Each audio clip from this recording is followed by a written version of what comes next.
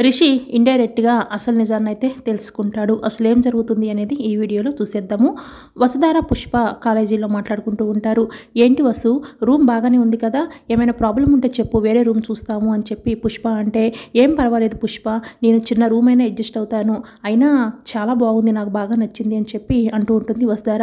మరి నీ ఫ్యామిలీ వస్తారన్నావు కదా మరి అప్పుడు ఇబ్బంది అవుతుందేమోనని చెప్పి పుష్ప అంటే అప్పుడు కదా చూద్దాంలే అని అంటూ ఉంటుంది వసుధార. ఇక ఇద్దరు కూడా అలా మాట్లాడుకుంటూ ఉంటారు. అప్పుడే రిషి అటుగా వస్తూ వాళ్ళ మాటల్ని వింటూ ఉంటాడు. సరేలే కానీ నేను ఒకటి అడుగుతాను చెప్తావా? అని చెప్పి పుష్ప అంటే మీ వారి గురించి అడుగుదామని అనుకుంటున్నాను. మొన్నటి నుంచి అడుగుతూ ఉంటే నువ్వేం చెప్పలేదు కదా? కనీసం నిన్ని బెస్ట్ ఫ్రెండ్ని కదా నాకైనా చెప్పొచ్చు కదా? అని చెప్పి పుష్ప అంటే సరే ఏమడుగుతావో అడుగు చెప్తాను అని అంటుంది వసుధార. ముందు మీ వారి ఫోటో చూపించు అని అంటుంది వసుధార. చూపిస్తాను తప్పకుండా చూపిస్తాను. ఫోటో ఎందుకు డైరెక్ట్గా నీ మనిషినే చూపిస్తాను? అని చెప్పి ఇక వసుధార అయితే రిషిని మనసులో ఊహించుకుంటూ పుష్పతో మాట్లాడుతూ ఉంటుంది. సరే మీ వారి పేరు ఏంటో చెప్పు అని చెప్పి పుష్ప అంటే అది మా వారి పేరు ఏం చెప్పాలి చాలా పేర్లు ఉన్నాయి అని అంటుంది వస్తారా చాలా పేర్లు ఉన్నాయా అదేంటి ఎవరైనా ఒక పేరే పెట్టుకుంటారు కదా అని చెప్పి పుష్ప అంటే అదంతేలే అని అంటుంది వస్తారా సరే ముందుగా ఒక పేరు చెప్పు నీకు ఇష్టమైంది అని చెప్పి పుష్ప అంటే మా వారి పేరు అని చెప్పి ఇక వస్తారా ప్రతిదీ కూడా రిషిని గుర్తు చేసుకుంటూ మా వారి పేరు ప్రిన్స్ అని చెప్పి అంటుంది. ఏంటి ప్రిన్సా?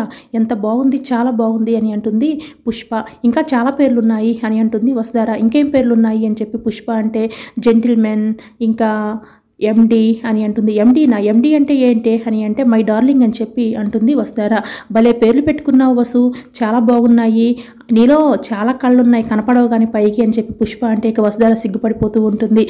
ఏంటి? మీ వారి పేరు చెప్తూ ఉంటేనే నీ మొహం వెలిగిపోతుంది నీ కళ్ళల్లో కాంతి కనపడుతుంది. మీ వారంటే నీకు అంత ఇష్టమా? అని పుష్ప అంటే ఇష్టం కాదు ప్రాణం అని చెప్పి వసుధార రిషిని గుర్తు చేసుకుంటూ మాట్లాడుతూ ఉంటుంది. ఈ మాటలన్నీ విన్న రిషి అయితే షాక్ అయిపోతాడు. ఇదేంటి? తన భర్త గురించి గురించి చెప్పమంటే మొత్తం నా గురించి చెప్తుందేంటి పొగరు? అని చెప్పి ఇక రిషి అయితే మనసులో ఏదో తెలియని ఫీలింగ్తో ఆనందపడిపోతూ ఉంటాడు. సరేలే కానీ నీ తాడిబొట్టుకేంటి అదేందో రింగ్ ఉంది అని చెప్పి పుష్ప అంటూ ఉంటుంది. అదా నా పేరు నా భర్త పేరు కలిసి ఉన్న రింగ్ అని చెప్పి అంటుంది వసుధార. విఆర్? విఆర్ అంటే ఏంటి? అని అంటే నా పేరు వసుధారాలో వి అలాగే మా వారి పేరు ఆర్తో ఉంటుంది. అందుకే విఆర్ అని కలిపి రింగ్ చేపించుకున్నాము.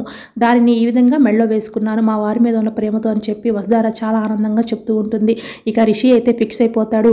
అంటే వసుధార ఏదో చెప్పడానికి వచ్చింది ఇదేనా అని చెప్పి ఇక రిషి అయితే ఆనందపడిపోతూ ఉంటాడు. నాకు తెలుసు నా వసుధార ఏ తప్పు చేయదు అని చెప్పి ఇక రిషి అయితే అసలు ఏం జరిగిందో తెలుసుకోవడానికి వసుధార దగ్గరికి అయితే వస్తూ ఉంటాడు.